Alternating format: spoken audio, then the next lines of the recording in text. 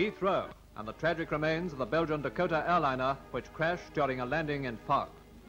Three passengers miraculously escaped from the blazing wreck, but the other 16, with a crew of three, lost their lives. Two nations share the sorrow of this, the first major disaster London Airport has known.